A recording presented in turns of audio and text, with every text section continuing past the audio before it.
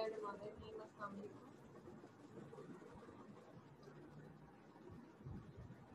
अच्छा जी हमने एक्सरसाइज के क्वेश्चन डिस्कस किए थे। क्वेश्चन नंबर टू है वो देख। लें पे ratio B is equal to 3 ratio 7 find the values of 2 A ratio 3 B अब ए की जगह आपको 3 पुट करना है बी की जगह 7 पुट करना है that is a simple question उसके बाद क्वेश्चन नंबर 3 है the daily wages of two workers are rupees 450 and rupees 550 find the ratio between the wages अब 450 रेशियो 550 आ जाएगा, ठीक है? अब रेशियो फाइंड आउट करनी है आपने तो four fifty ratio five fifty से देखें इस कॉमन टेबल पे जाते हैं। ज़ीरो ज़ीरो से कैंसिल तो forty five ratio fifty five आ जाएगा। तो ये फाइव नाइन जब फोर्टी फाइव फाइव इलेवन जब फिफ्टी फाइव आ जाएगा, यानी कि नाइन रेशियो इलेवन इसका आ जाएगा। Find the ratio of two hour to fifty minutes ठीक है? ये भी जैसे फॉर एग्ज़ाम्पल ई टी ये देखिए। इस तरह से हो जाए find the ratio between one hour and forty minutes तो one hour is equal to sixty minutes तो और साथ फोर्टी फाइव मिनट्स एक यूनिट में इनको हमने चेंज कर लेना है। यानी कि मिनट्स में चेंज कर लेना अभी तक टू आवर्स थे तो टू मल्टीप्लाई बाई सिक्सटी क्या हो जाएगा? 120 ठीक है। 120 रेशियो 50 मिनट तो 12 रेशियो ज़ीरो ज़ीरो से कैंसिल हो जाएगा तो 12 रेशियो फाइव आ जाएगा, वो आपका आंसर आ जाएगा। ठीक है? उसके बाद जो है इसी तरह से आप लोगों ने question number five one K G two nine hundred gram K G को ग्राम्स में कन्वर्ट करें one K G equal to thousand gram, यानी कि थाउज़ेंड रेशो नाइन हंड्रेड हो जाएगा ज़ीरो ज़ीरो से कैंसिल तो टेन रेशो नाइन जो है वो आपका आंसर आ जाएगा। इसी तरह क्वेश्चन नंबर सिक्स है। और जो इजी क्वेश्चन है, वो आप लोगों ने खुद सॉल्व किए नेक्स्ट टॉपिक आ जाता है हमारे पास प्रोपोर्शन का।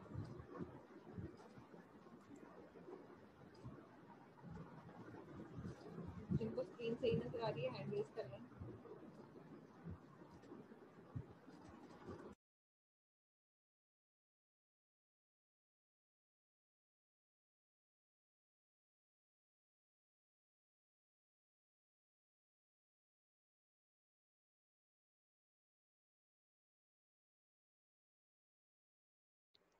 ओके बिस्मिल्लाहिर्रहमानिर्रहीम कल हम लोगों ने पढ़ा था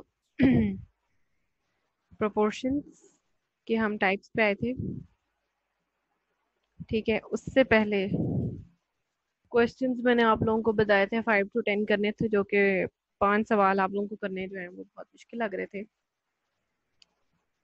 आज नेक्स्ट फाइव भी डिस्कस एंड पे कर लेंगे, और फिर संडे तक आप लोग मुझे वो ग्रुप में फॉरवर्ड कर देना। ठीक है?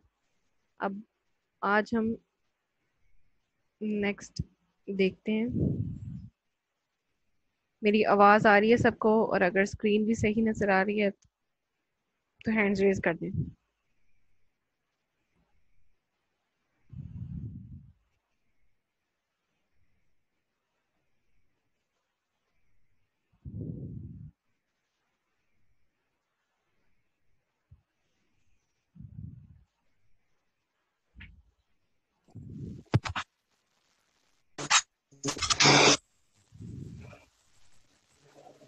अच्छा जी, आज हमने टाइप्स ऑफ़ प्रोपोर्शन देखनी थी।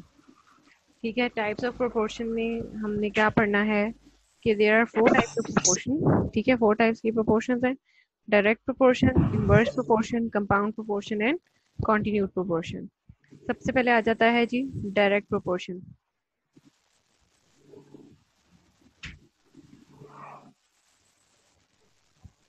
ठीक है डायरेक्ट प्रोपोर्शन में क्या कहता है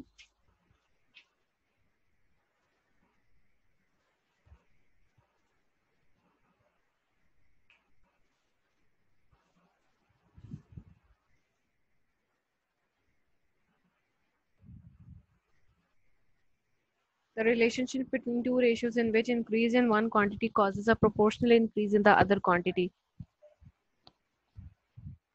कि एक क्वांटिटी के इंक्रीज करने से दूसरी क्वांटिटी भी जो है वो इंक्रीज करी है। और decrease in one quantity causes a proportional decrease in the other quantity. और दूसरी क्वांटिटी एक क्वांटिटी के डिक्रीज करने से दूसरी क्वांटिटी भी क्या है? डिक्रीज कर रही है। तो ऐसे प्रोपोर्शन को हम कहते हैं डायरेक्ट प्रोपोर्शन मतलब दो प्रोपोर्शन में डायरेक्ट लिंक है। ठीक है जी?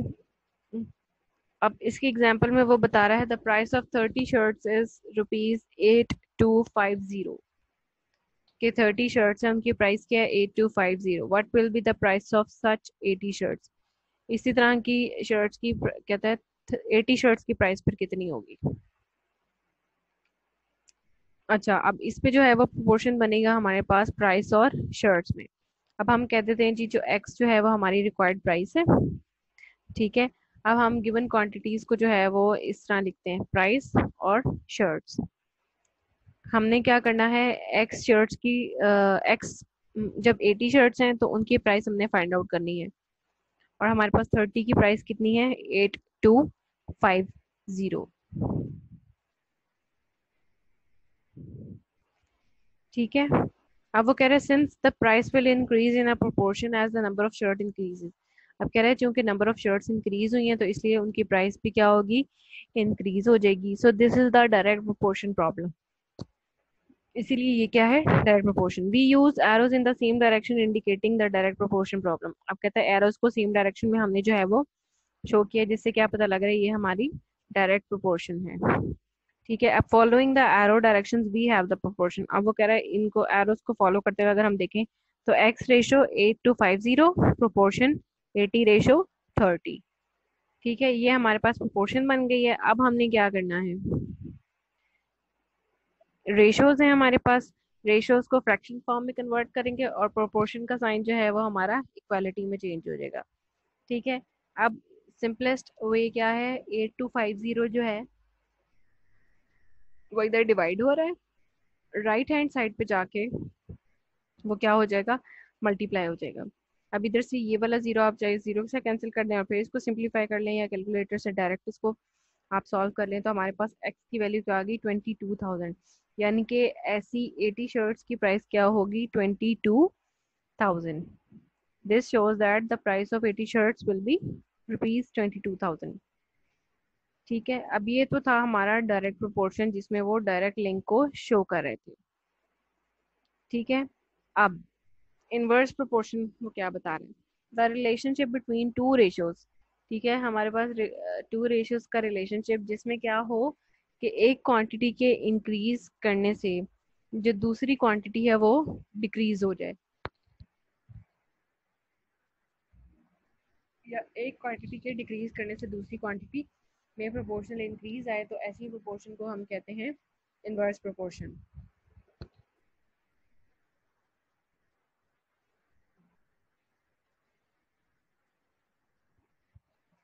अच्छा।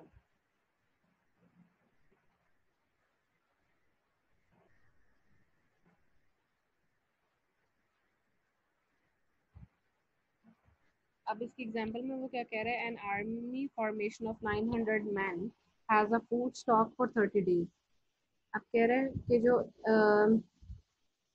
एक आर्मी है 900 लोगों की, और उनका जो फ़ूड स्टॉक है, वो कितना है? 30 डेज़ का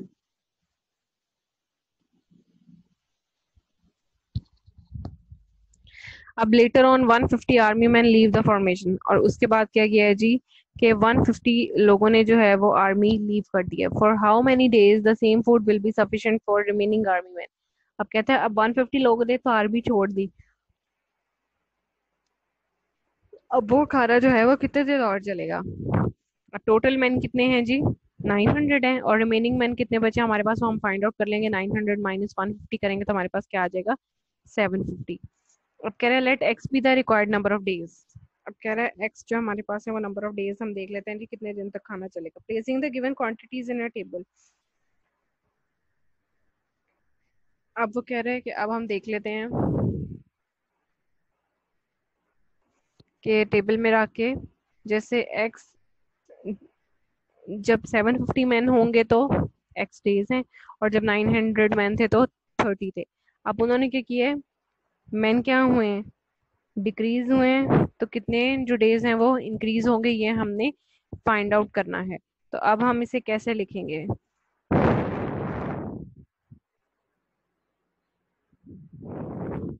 Since the number of days will increase in a proportion अब कह रहे हैं कि नंबर ऑफ़ डेज़ जो है वो प्रोपोर्शन में इंक्रीज कर रहे हैं। तो as the number of man decrease जैसे ही जो है वो बंदे कम होंगे। So this is an inverse proportion तो ये क्या है? इनवर्स प्रोपोर्शन का केस है। कि लोगों के कम होने से दिन जो है वो बढ़ जाएँगे। तो we use arrows in the opposite direction कह रहा है अब हमने एरोज को क्या किया? ऑपोजिट डायरेक्शन में जो है वो हमने शो कर दिया है indicating the inverse proportion problem जिससे हमें क्या पता लग रहा है, ये हमारी जो प्रॉब्लम है वो इनवर्स प्रोपोर्शन की है। अब फॉलोइंग द एरो डायरेक्शंस अब एरो डायरेक्शंस को फॉलो करें। तो इधर क्या आ जाएगा? एक्स रेशियो थर्टी ठीक है? प्रोपोर्शन 900 रेशो 750 तो अब हम इस प्रोपोर्शन को ऐसे लिखेंगे। ये जो है, वो बहुत ध्यान से करने वाले क्वेश्चन है। इनमें आप लोगों को पहले देखना पड़ेगा कि कैसा लिंक है। क्वांटिटीज का आपस में, उस हिसाब से आप लोगों ने एरोज लगाने और फिर एरोज को फॉलो करते हुए आपने उसको प्रोपोर्शन फॉर्म में राइट डाउन करना है। ठीक है? तो यहाँ पे अब हम इसको रेशो की फॉर्म में लिखे। अब तो एक्स ओवर थर्टी यानी कि रेशो फ्रैक्शन में कन्वर्ट होगी। प्रोपोर्शन की जगह आ गया इक्वालिटी का साइन और nine hundred over seven fifty अब थर्टी इधर क्या हो रहा है? लेफ़्ट हैंड साइड पे डिवाइड हो रहा है राइट हैंड साइड पे क्या होगा? मल्टीप्लाई हो जाएगा. तो जब हम इसको कैलकुलेट करेंगे सॉल्व करेंगे तो X equal to thirty six अब this shows that the same food will be sufficient for thirty six days for the remaining argument यानी कि अब 150 लोगों के जाने से वो खाना जो है वो छह दिन के लिए और बढ़ जाएगा. तो इससे हमें क्या पता लगा कि अब उनका खाना कितने दिन तक चलेगा? 750 लोगों का 36 डेज़ तक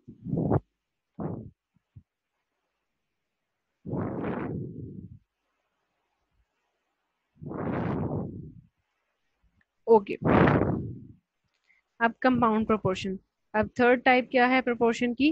Compound proportion the relationship between two और more proportion is known as compound proportion अब कह रहे कि दो या दो से ज़्यादा प्रोपोर्शन का आपस में कोई रिलेशनशिप हो तो उसको हम क्या कहते हैं?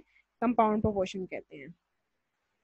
ठीक है? अब कह रहे हैं in the following examples we discuss the methods for solving the compound proportion अब कह रहे हैं, नीचे जो आपको एग्जांपल्स दी गई है, उसमें वो हमें कंपाउंड प्रोपोर्शन को सॉल्व करना बताएगा।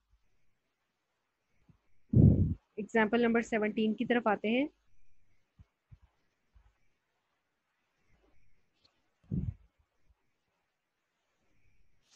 क्या कह रहे हैं? A manager plans to produce 200 units with the help of 50 person working 8 hours daily अब कह रहे हैं, एक मैनेजर है जो कि प्लान कर रहा है कि वो 200 यूनिट लगाए, ठीक है? 50 बंदों की मदद से और वो 50 बंदे जो हैं वो रोज कितने घंटे काम करें? आठ घंटे काम करें। How many units can be made by eighty percent अब वो कह रहा है, अगर वो पचास की बजाय एट्टी परसेंट को हायर कर ले और अगर वो छः घंटे रोज काम करे तो फिर कितने यूनिट्स जो है वो लगा पाएगा वो, ठीक है? अब इधर देख लें थ्री क्वांटिटीज आ गई हैं। यूनिट्स आ गए डेली वर्किंग आवर्स आ गए और वर्कर्स आ गए, ठीक है?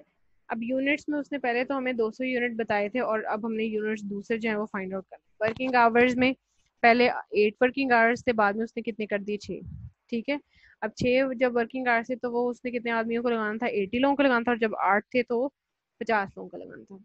अब since the number of unit is required, so we compared the first column of above table with the last two columns as follow अब कह रहे हैं कि अब हम फ़र्स्ट कॉलम को लास्ट टू कॉलम्स के साथ जो है वो कंपेयर करेंगे।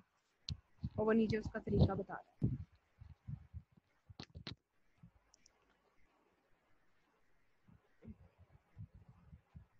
ऐसे। अब since the number of units is required अब कह रहा है हमें number of units find out करने so we compare the first column अच्छा जी। अब कह रहे हैं if the number of worker increases then the number of units increases कहता है, अगर नंबर ऑफ़ वर्कर्स इंक्रीज होंगे, इसका मतलब ज़्यादा यूनिट लगा सकेंगे। और अगर वर्किंग आवर्स इंक्रीज होंगे तो नंबर ऑफ़ यूनिट्स भी इंक्रीज करेंगे। यानी कि अब वो कह रहे हैं, दोनों में डायरेक्ट रिलेशनशिप वो शो कर रहा है। फ़र्स्ट केस में वो बता रहा है कि नंबर ऑफ़ वर्कर्स अगर इंक्रीज करेंगे, उस केस में भी नंबर ऑफ़ यूनिट्स इंक्रीज हो जाएँगे। और फिर अगर number of working hours increase करे वो तो फिर भी जो है वो नंबर ऑफ़ यूनिट्स इंक्रीज करेंगे, यानी कि नंबर ऑफ़ यूनिट्स और वर्किंग आवर्स में भी डायरेक्ट रिलेशन है और नंबर ऑफ़ वर्कर्स और यूनिट्स इन दोनों में भी क्या है? डायरेक्ट रिलेशन है।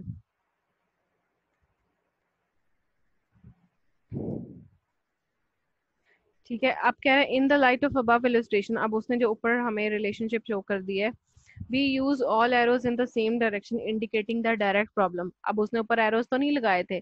अब वो पहले उसने उस प्रॉब्लम को समझा है, अब वो उसने एरोज लगाए in the same direction indicating the direct proportion problem as follows अब उसने कहा था कि इनमें क्या है? डायरेक्ट रिलेशन है, इसलिए उसने एक ही तरफ़ जो है वो एरोज का फेस रखा है और इंडिकेशन एक तरफ़ है। अब using arrow signs we have अब कह रहे हैं एरो साइंस को यूज़ करते हैं, हमारे पास क्या है? एक्स ओवर टू हंड्रेड ठीक है?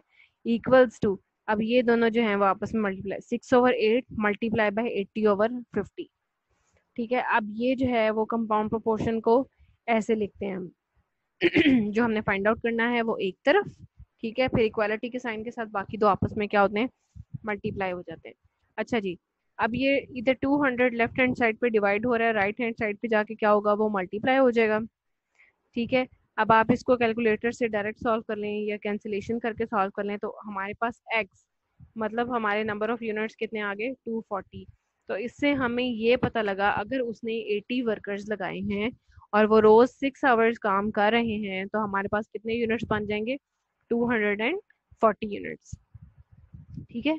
यानी कि वर्कर्स बढ़ाने से हमारे जो हैं, वो नंबर ऑफ़ यूनिट्स भी इंक्रीज कर जाएँगे।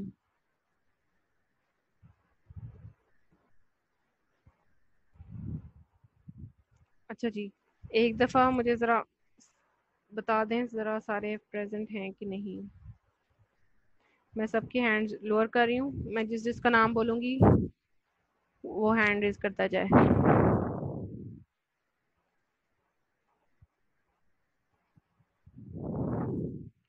ठीक है।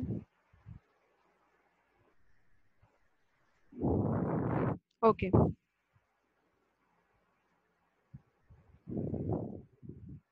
शुएब रशीद। मैं जिसका नाम बोल रही हूँ हैंड रेस करें मदीहा। अहमद नवाज़। अली हसन। अमीर हमजा। अनीक शाहिद। आकिब। अक्सा।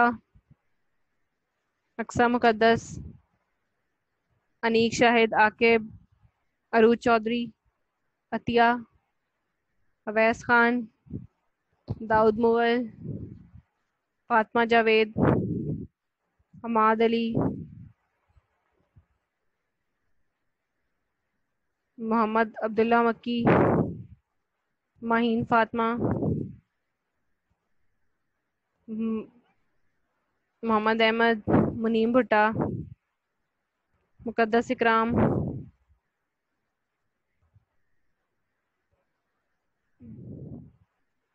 राना जुनेद, फातमा जावेद राना नूर, सहरिश इकबाल, सना इकराम, सरोशा, सरवत, सिमरा, सुहेब, टीपू।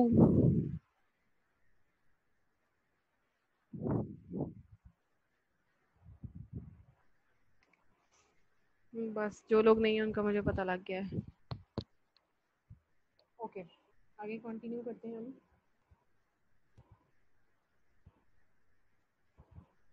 अच्छा जी, अब आगे वो नेक्स्ट एग्जांपल भी कंपाउंड प्रोपोर्शन से रिलेटेड ही बता रहे हैं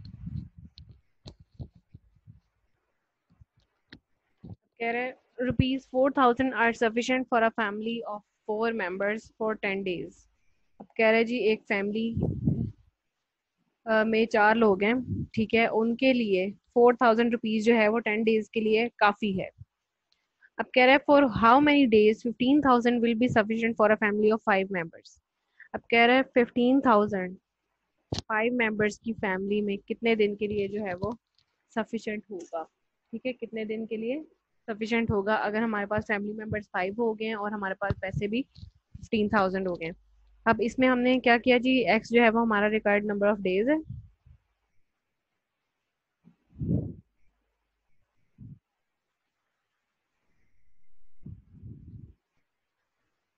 ठीक है, अब हम इन क्वांटिटीज को जो है वो टेबल की फॉर्म में रखते हैं। तो हमारे पास आ जाएँगे डेज़ मेंबर्स और रुपीज़ आ जाएँगे। अब एक्स डेज़ हमने फाइंड आउट करने हैं और टेन डेज़ उसने हमें पहले बताए हुए थे। एक्स डेज़ के लिहाज से हमारे पास मेंबर्स उसने फाइव कर दिए, जबकि पहले मेंबर्स कितने थे? फोर थे। ठीक है?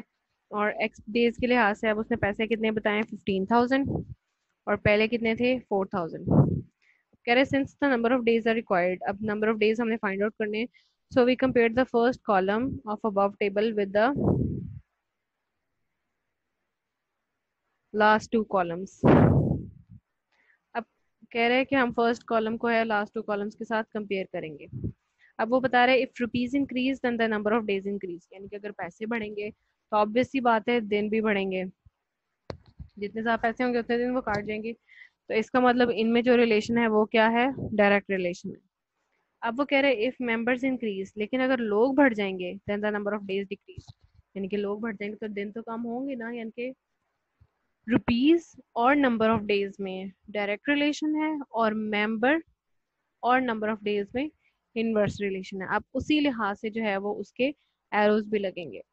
अब वो कह रहे हैं in the light of above illustration we use all arrows in the same direction for first and last column अब फ़र्स्ट और लास्ट कॉलम के लिए एरो सेम डायरेक्शन में रहेंगे while we use the arrows in the opposite direction for second and last columns as follows अब first column को हम second के साथ कंपेयर करें तो उनके एरोज की डायरेक्शन क्या होगी?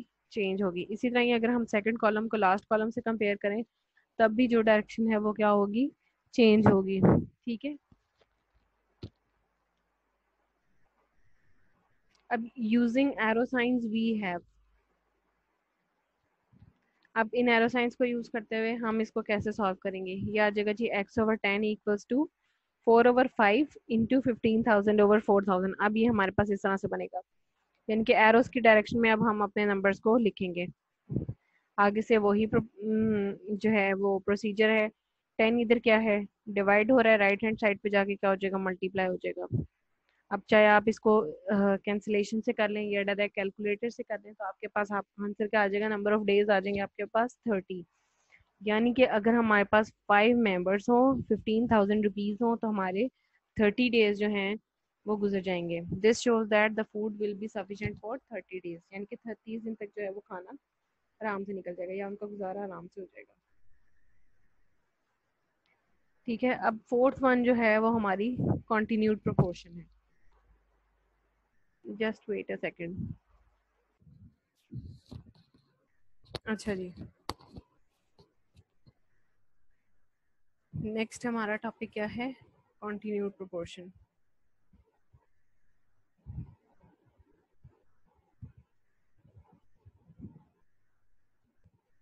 अब कह रहे हैं quantities are set to be in continued proportion कहता है क्वांटिटीज को हम कब कह सकते हैं? वो कंटिन्यू प्रोपोर्शन में है। If the first is related to the second कहता है कि फ़र्स्ट क्वांटिटी सेकंड से रिलेट कर रही हो the second is related to the third जो सेकंड क्वांटिटी है, वो थर्ड क्वांटिटी से रिलेट कर रही हो and third is related to the fourth और जो थर्ड क्वांटिटी है, वो फोर्थ से रिलेट करती हो एंड सो यानी कि क्वांटिटीज का आपस में रिलेशन हो तो उसे हम कहते हैं कॉन्टिन्यूड प्रोपोर्शन अब वो नीचे क्या बता रहा है? Thus if A B C and D are in continued proportion then अब कह रहा है कि अगर ए बी सी डी जो है, वो हमारे कॉन्टिन्यूड प्रोपोर्शन में है तो हम इनको लिखेंगे कैसे? A over B equals to B over C equals to C over D यानी कि ए का रिलेशन बी के साथ बी का सी के साथ एंड सी का डी के साथ।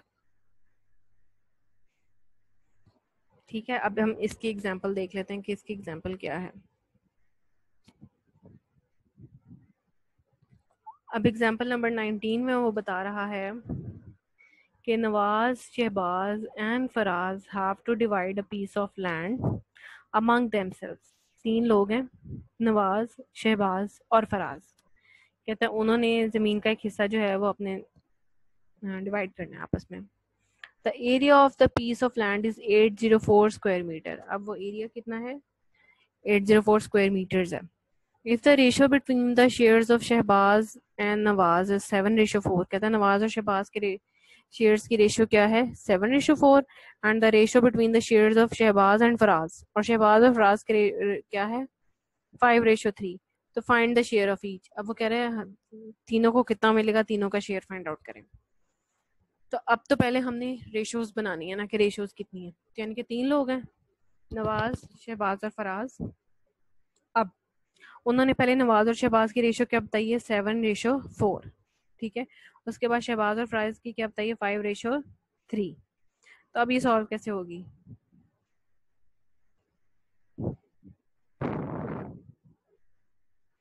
अच्छा अब ये इन्होंने लाइन लगाई है और ये अब रेशियोज कैसे निकलेंगे? सेवन को हम मल्टीप्लाई करेंगे फाइव के साथ तो क्या आ जाएगा? सेवन फाइव से थर्टी फाइव वो नमाज़ के नीचे लिख देंगे इधर। फिर फाइव को मल्टीप्लाई करेंगे फोर के साथ तो क्या आ जाएगा? ट्वेंटी वो आ जाएगा शहबाज के नीचे। उसके बाद फोर थ्री ज़ा ट्वेल्व तो आ जाएगा इधर ट्वेल्व इनके अब तीनों की रेशियोज क्या निकलेंगे thirty five ratio twenty ratio twelve आगे से प्रोसीजर सेम है जो जैसे हम पहले करते होते थे जब हमने शेयर फाइंड आउट करने होते थे। कि पहले हम क्या करते होते थे? सम ऑफ़ रेशियोज करते थे फिर हम फ्रैक्शनल पार्ट फाइंड आउट करते थे और फिर शेयर करने के लिए क्या करते थे? हम फ्रैक्शनल पार्ट को मल्टीप्लाई कर देते थे जो भी हमें क्वांटिटी uh, जो डिवाइड करनी होती थी जो गिवन होती थी।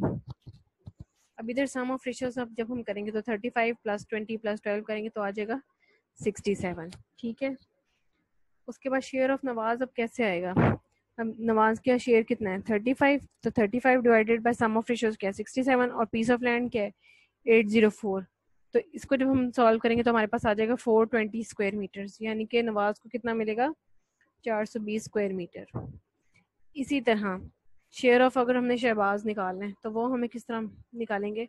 20 divide by 67 seven into eight zero four यानी कि शहबाज के नीचे कितनी रेशियो थी? 20 divided by sum of ratio क्या है? 67 ठीक है? और मल्टीप्लाई करना है उसको 804 के साथ. तो यहाँ पे आ जाएगा 240 स्क्वायर मीटर्स उसके बाद शेयर ऑफ़ फराज कैसे आ जाएगा? फराज की देखिए रेशियो क्या ट्वेल्व है? Twelve divide by sixty seven into eight zero four यहाँ पे क्या आ जाएगा? One forty four square meters यानी कि तीनों के शेयर निकल आए। अब नवाज़ को कितना मिलेगा? Four twenty square meter Shahbaz को मिलेगा टू फोर्टी स्क्वायर मीटर और फराज को मिलेगा one forty four square meters ठीक है तो ऐसे हमने शेयर निकालना अच्छा अब इसके हम एक्सरसाइज 9.2 के क्वेश्चंस देखते हैं।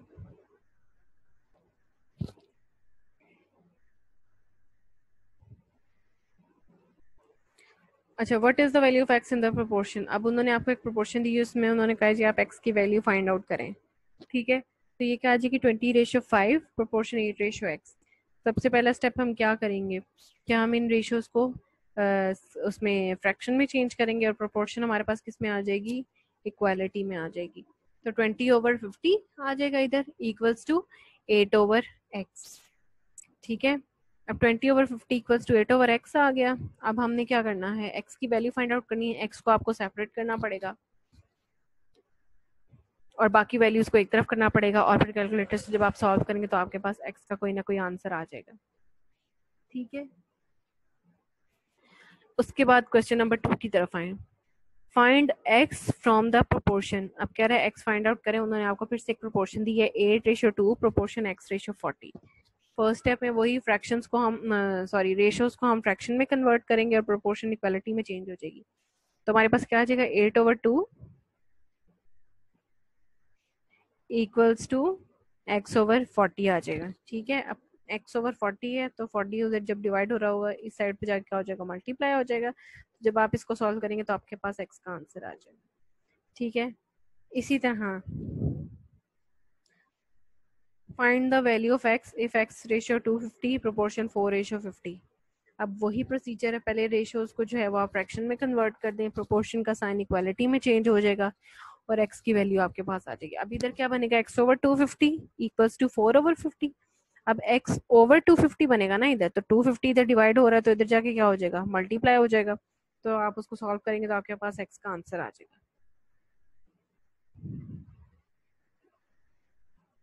अच्छा अब कह रहे हैं for the proportion six ratio A plus B proportion three ratio two A show that B is equal to three A आपने ये अवेल्युएट करना है।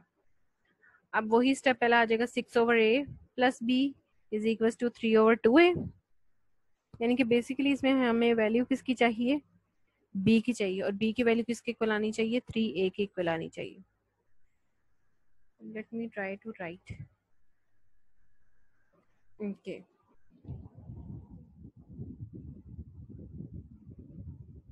ये देखिए ये हमारे पास बनेगा six over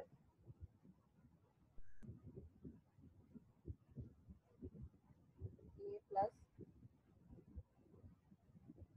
B is equals to 3 over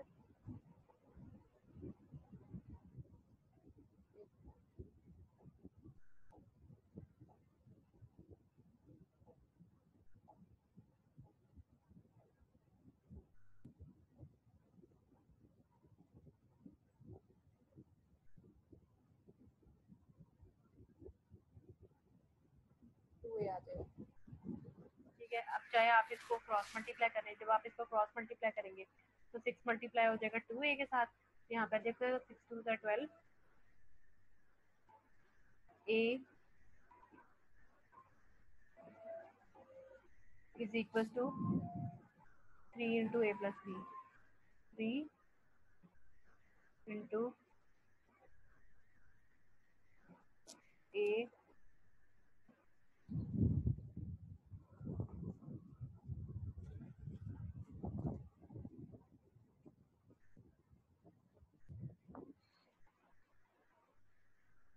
plus B ठीक हो गया। अब आप इस थ्री को इधर जाके डिवाइड कर दें। तो आपके पास थ्री यहाँ पे आ जाएगा फोर ए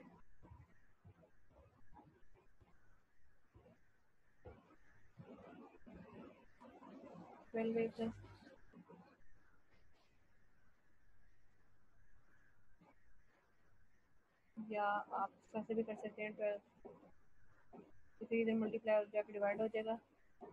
तो six over a plus b into 3 over 2a. 4a is equals to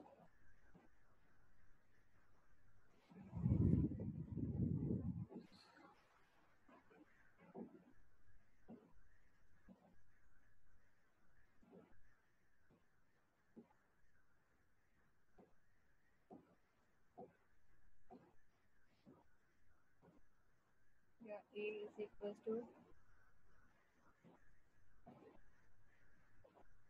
three over. Twelve into hi hi?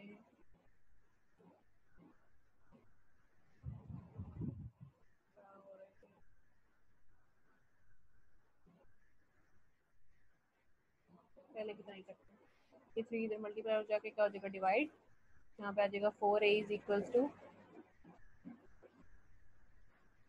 A plus B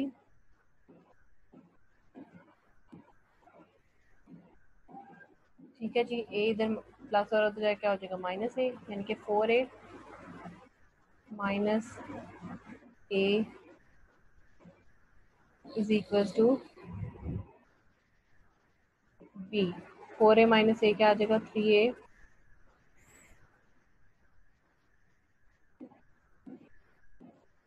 is equal to B तो ये आपका जो है वो आंसर आ जाएगा। ठीक हो गया अब ये आपने जो थ्री क्वेश्चन है, ये भी कर रहे हैं। उन्हीं क्वेश्चन के साथ जो मैंने आपको कल क्वेश्चन दिए थे और ये आपने मुझे संडे तक फाइंड आउट संडे तक करके दिखाना। अच्छा और हमारा जो है वो पिछले वीक का एक जो लेक्चर है, वो ड्यू है। तो मैं आप लोगों को बता दूँगी कि मैं आप लोगों का वो लेक्चर कर लूँगी, इंशाल्लाह। ठीक है, जो पिछले वीक का एक लेक्चर ड्यू है, वो हम इनशाला कल पूरा कर लेंगे। आज के लिए बस इतना ही, काफ़ी है। ठीक है? एक दफ़ा मैं फिर से देख लूँ कितने लोग हैं इधर।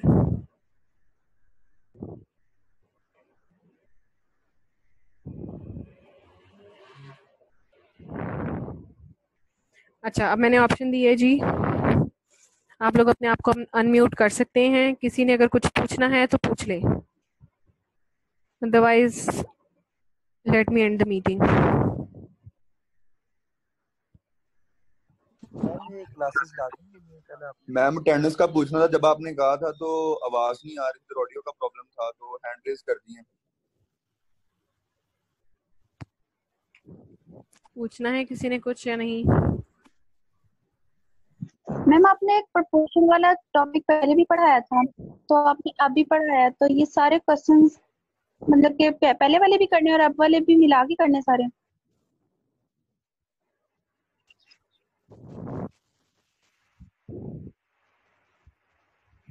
अच्छा मेरा ख्याल है सबको बहुत मैम ने जो कल काम दिया है कुछ और आज का काम मिला के आपने मंडे तक असाइनमेंट सबमिट करवाना है।